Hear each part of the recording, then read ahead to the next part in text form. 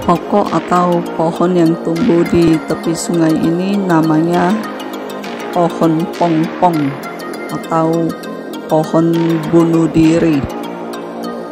Kalau di Indonesia namanya pohon bintaro. Pohon ini dapat tumbuh walaupun akarnya terendam dalam air. Pohon ini berbunga dan berbuah sangat lebat, tetapi buahnya tidak dapat dimakan karena beracun.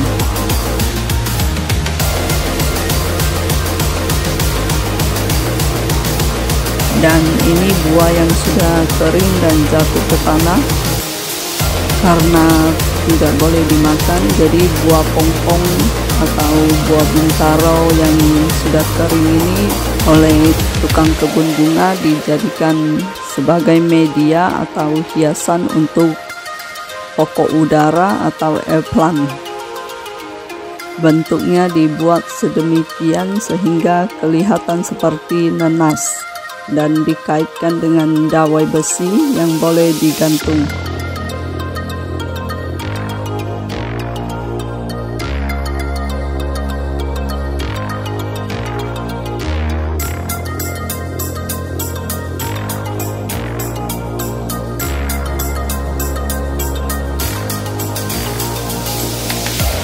ini adalah jenis pokok udara atau eggplant yang dikaitkan di bagian atas buah bintaro dan ianya boleh berbunga.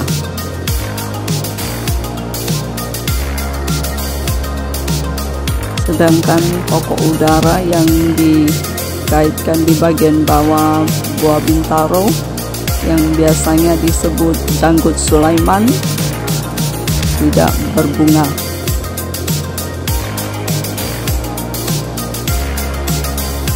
pokok udara ini harus digantung di luar rumah yang banyak angin atau udara.